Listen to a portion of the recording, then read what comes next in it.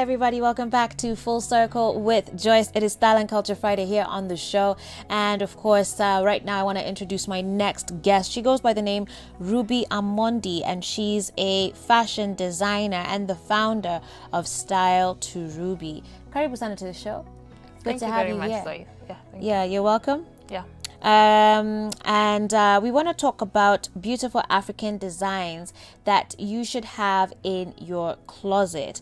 Okay, and so you know, when it comes to fashion, a lot of times we tend to feel really excited with you about sharing some of the latest tips, latest designs that you guys can look out for, particularly where African fashion is concerned, because we need to be proud of our heritage. Okay, um, and Africa, of course, one of the leading continents that has been coming out with some of the best and most beautiful styles that we're seeing even celebrities across the world embracing. And so, you know, a lot of times we say that African fashion is really hard to define. Do you agree yes. with that statement? It's not hard to define. I think we are just trying to decolonize our minds. You mm. know, for a long time we, we, we've preferred imported outfits um, Mitumba, if you may. So we are trying to make people understand that Africa is beautiful. We have beautiful prints. I am yet to see any fabric that is, that is as beautiful as kitenge. We have all colors of prints. Right. That's the beauty of kitenge. So your business, do you mostly just deal then with African fabrics, kitenges? Not really. Like mm -hmm. right now, it's not fully African. Mm -hmm. I'll say African inspired. African inspired. Yes. Can we see your outfit? Can you model your outfit? Just stand. Just stand. Ah, yeah, just, just standing. Stand. I yeah, can stand. Just stand. yeah. All right. This is like a jumpsuit. Yeah, it is a jumpsuit. Mm -hmm. Um, it's a long story but I'll make it short. Okay. I support Chelsea. so you gotta love when a fashion story starts with I support Chelsea. Yeah, I love Chelsea. So I'm Team Blue. One of those days we were going to win. I just felt it. So I turned up in this wonderful outfit. But because I'm African inspired, I had to put some kitenge on it. You're, you're serious, aren't you? You're like a die-hard fan then. Yes. Oh yes, my yes. gosh. Okay, and we won. We won. Well, congratulations. Thank you. well, um, I know you have some models, and I'm going to be calling them out um, very shortly. Yeah. Uh, we're going to be telling us our first look. And actually, let, let's start ahead with our first look. So here we have our first model. Come on in. There she goes with her look. Uh, we see this dress here. Um, so tell me about this look. This look, I'd say Kitenge is not for boring people. Kitenge is not just for choirs, though I love music. I know you love music. Yeah. So there's nothing against choirs. but people think Kitenge is for just choirs. So this is one. yeah, yeah. So this means Kitenge can be very, very stylish. Mm -hmm. Yes, I hope I'm allowed to say sexy. yeah, okay. So where would yeah. someone wear this? Um, you go out with it. You can go for a cocktail. You can go for a date. It's something fancy. It's not something you'll you'll wear when you're doing your household chores of mm -hmm. course yeah okay um so maybe you can just give us a twirl and then we can see so obviously it has this um what do you call this like a fold over slit at the front um she's worn it with some white pumps we can see and then it has some cutout detail on the top yeah okay yeah. Uh, explain the design then again. Um, you know, a lot of people will be conscious about their body types and fitting into an yeah, outfit like um, this. The beauty of kitenge is that for, for some reason it, it doesn't it flatters your figure while hiding those areas that you, you don't want to be seen. Mm -hmm. And like, let me say stretch fabric, stretch fabric, you know, it might show those areas that you, you actually want to hide. So that is the beauty of kitenge. It's very, very safe for all body types. Yeah. Okay. Yeah. All right. Well, thank you very much. Uh, let's. Uh, we're gonna get ready to call on our next model. So Asante. Um, Okay, so the thing with African fabrics, though, you know, it's very vibrant, lots of different prints, lots of different yeah. colors. Yeah. Is there like a rule of thumb as far as you know how to mix and match fabrics? We used to play safe. We, would say like for for instance, if you're wearing red printed fabric, your shoes will be red. But nowadays we can actually color block. You can actually match a different print with a different print at the bottom and it's okay. Mm -hmm. There are no rules to fashion. Okay. Yeah. All right, so let's call in our second model then today. Uh, here we have another outfit, this one worn with some jeans. Uh, tell us about this look. Fancy, someone who loves going out, someone who is fun, someone who is daring. It's for a bold woman. Mm -hmm. And of mm-hmm. course, it's for the younger generation or you, you won't expect your mom, for example, to, to you know to wear this. So I'd say it's the, the target audience for this. It's a kimono, by the way. Okay. It, it's for the younger people who are vibrant and are outgoing and all that. Okay. Yeah. And they where would they wear this outfit? When they're going out, when they're going out with your friends, when you're going to the mall, when, when you you know you can wear it when you're going to have fun with people. Mm-hmm. Yeah. Okay. Yeah. All right. Uh, and you can give us a 12 so that we can see the back. Go ahead. So there it is, quite long. And here again, like the prints, it's a pretty bold print, a pretty large print. Um, but you've tapered it down with, I guess, just wearing jeans and you know throwing on some pumps. Um, yeah, for this, I'd say you need to be well toned. Yeah, of, of course, if you you're still doing your sit-ups and you've not reached your target, you might not wear this because, of course, it, it doesn't cover the navel. Yeah. right. But there's ways you could adapt the outfit, so it doesn't have to be a crop top. Yes. Yes. yeah, Yes. it, Yes. it doesn't have to be a crop top. So whatever body shape you are, Yeah. you're still good. Okay. and the larger the print, uh, uh, if you're bigger in size, uh, let me say thicker, you should actually go for smaller prints. mm-hmm. Actually, there's a rule. Yes, you should go for smaller prints. Like her, she's petite. If she wears this, she looks okay. If I wear this, I think I'll even look bigger.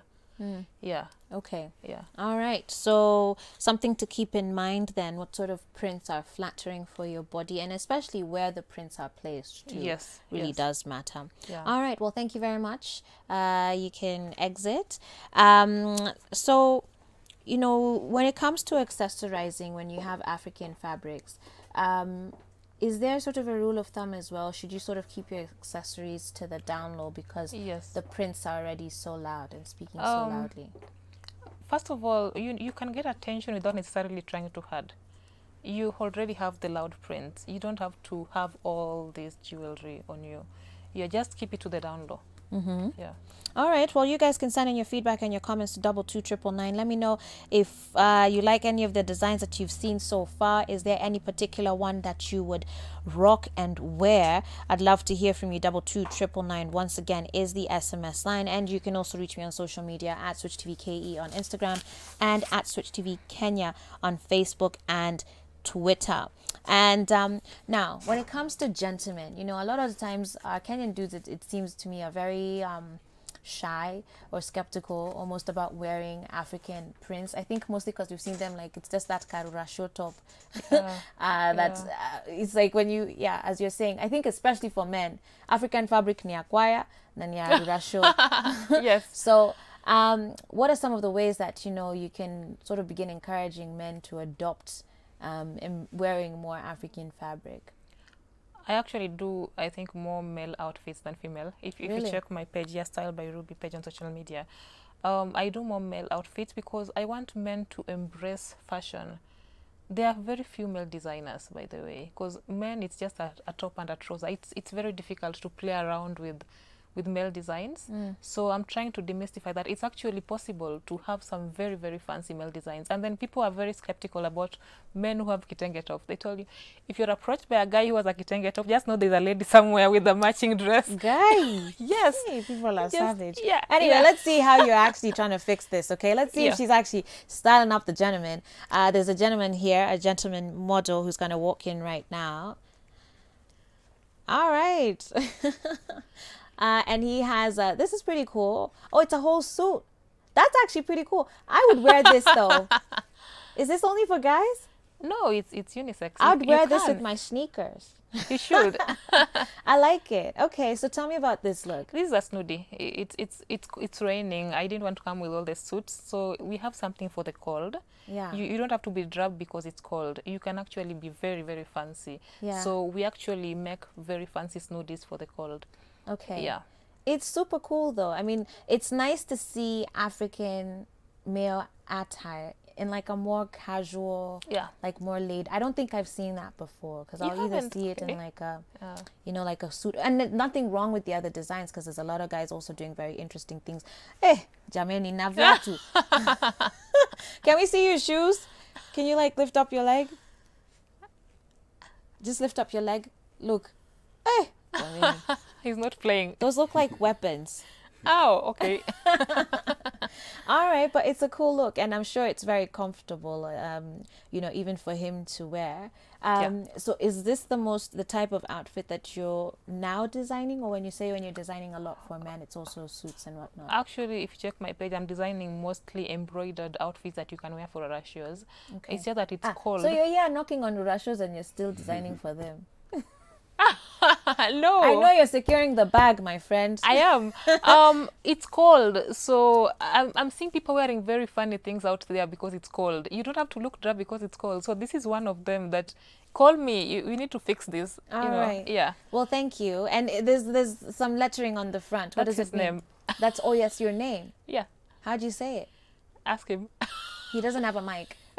Ongde. Ongde. So you can actually get this customized. Maybe can you we, turn we need that a way? Joyce kind way of so snooty. There's. Let's see the lettering on the front. Oopsie, you might have gone too much. Let me. There you go. There you go. so I could actually get my name on this. Yes. Although I don't know how I feel about that. but um, yeah, no, but that's pretty cool. That's okay. really cool. Mm. All right. Well, thank you very much, Ongde. All right. Well, um, I'd really love to know what you guys think about these designs. Double two triple nine is the SMS line. Now let's talk about price, okay?